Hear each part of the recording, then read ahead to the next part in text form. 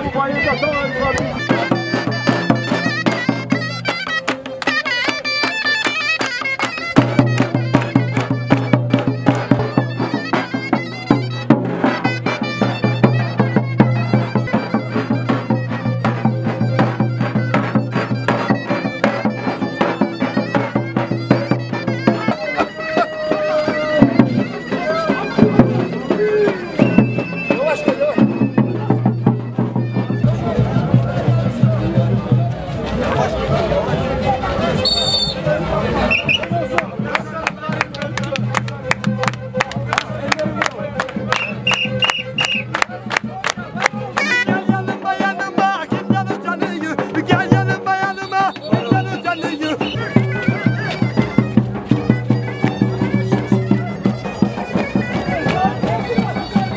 Kadırga Orak ayının ikinci haftası bütün Karadeniz'in yoğun bir şekilde katıldığı insanların gurbette izinlerini bu tarihe göre ayarlayıp Kadırga alanında otçu şenliklerinde buluştuğu günün adı.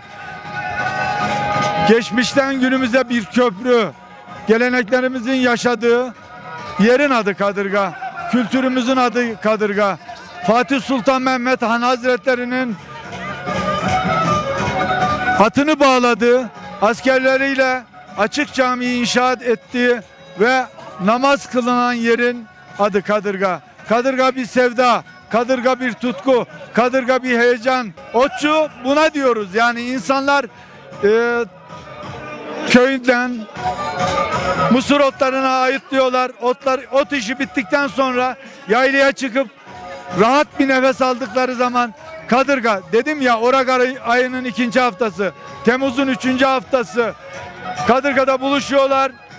Her obamız, her e, yerleşimimiz kendi otçu, otçusuyla birlikte Kadırga'da tek yürek oluyorlar.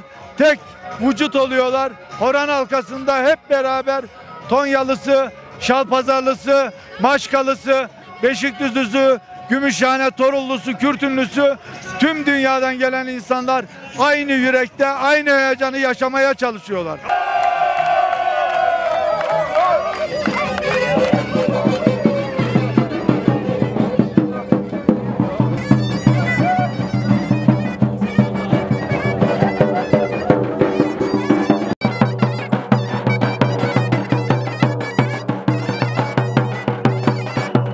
Bu gelenek her yıl Temmuz'un 3. haftası otçu geleneğimiz vardır.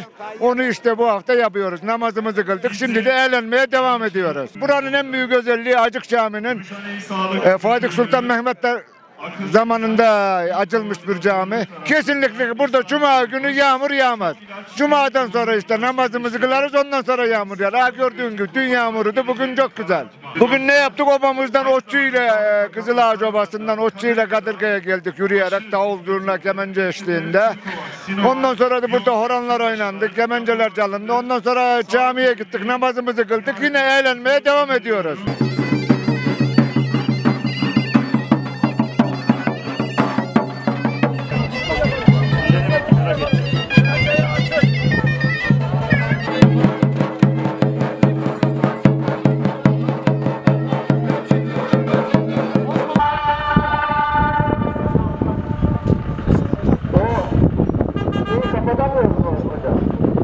Yaptırmayın. Birbirinizin arkasından konuşmayın. Gıybet etmeyin.